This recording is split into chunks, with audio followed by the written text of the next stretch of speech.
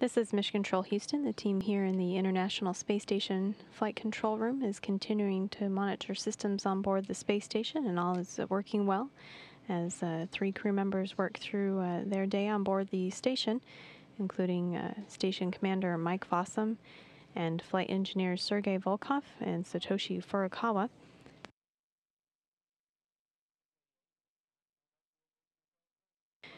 The uh, crew members uh, started off with a busy week, even though it was a holiday in the U.S. on Monday. The crew members uh, worked. Uh, Commander Mike Fossum spent uh, time early in the week working with the station's water recovery system.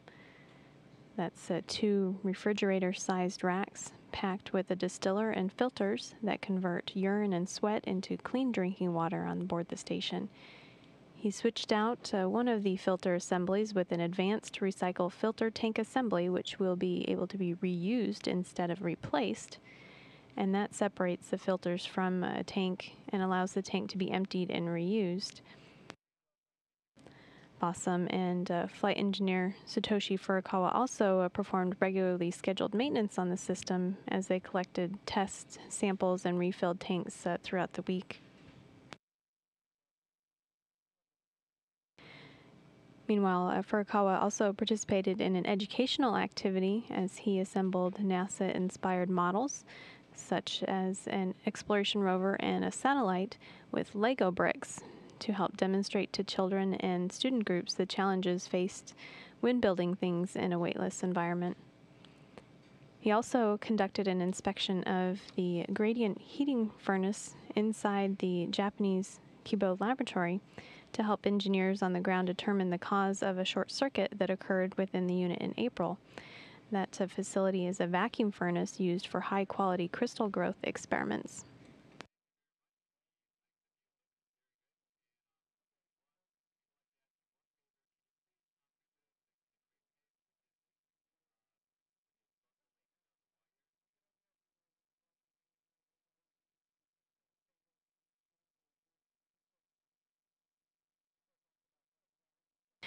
On Wednesday, Fossum worked inside uh, the combustion integrated rack, swapping out hardware that supports the experiments conducted inside. The rack is used to perform combustion experiments in microgravity, such as the Flame Extinguishment Experiment, or FLEX.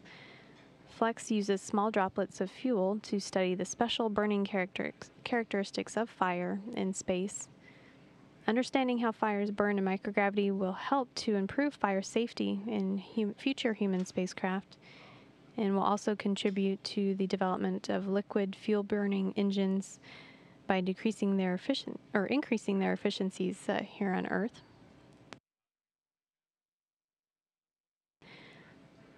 Flight engineer Satoshi Furukawa joined Fossum on uh, Wednesday, videotaping demonstrations and experiments for the Educational Payload Operations Program. Wednesday's demonstration showed how a crew member sleeps in space and included a discussion of the importance of sleep. The demonstration was geared towards students and teachers in grades 5 through 8. There are several uh, specific videos demonstrating basic uh, science principles that have been created by the crew members and are available via the NASA Education Project and Central Operations of Resources for Educators at uh, core, C-O-R-E, dot.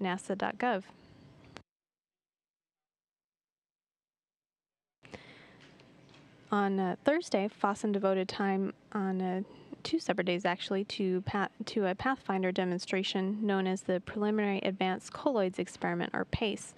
This is uh, setting the stage for the advanced colloid experiment by determining the limits of high resolution image magnification possible on board the station.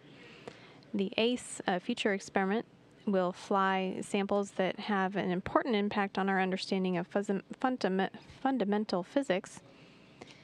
And an immediate uh, space application for that uh, technology demonstration could be extending the shelf life of consumables on uh, future long duration missions. Fossum also uh, spent some time checking out a microscope for experiment uh, use in the Cube Lab facilities, which are set up to uh, ease the uh, process of uh, carrying out research on board the International Space Station in the modular type facility. Also on Thursday, uh, Fossum and Furukawa assembled uh, Robonaut 2 and powered it up to perform the vision tests and check out sensors in the humanoid uh, robot's arms. Engineers on the ground sent the commands for the test, which involved stretching out the arms uh, for the first time in space. Robonaut 2 was delivered to the station on the STS 133 mission of space shuttle Discovery earlier this year. Robonaut is the first humanoid robot in space, and uh, the primary job for now is teaching engineers how this dexterous robot is behaving in space. The hope that is over time, through upgrades and, adv- advancements, the uh, robot could assist with tasks that the uh, crew members are performing and could even one day venture outside of the station to help spacewalkers.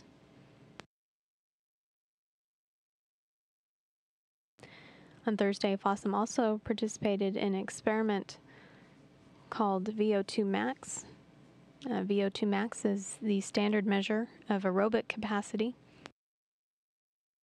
and is directly rela- related to the physical capacity of an individual. So, Fossum wore sensors that observe and record changes in a crew member's maximum oxygen uptake uh, during strenuous activities.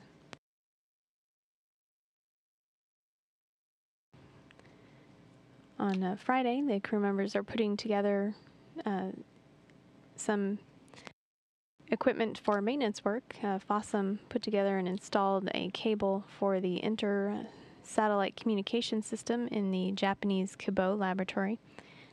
The jumper cable is to provide power to components in an alternate method since the system has been shut down due to a possible short circuit inside.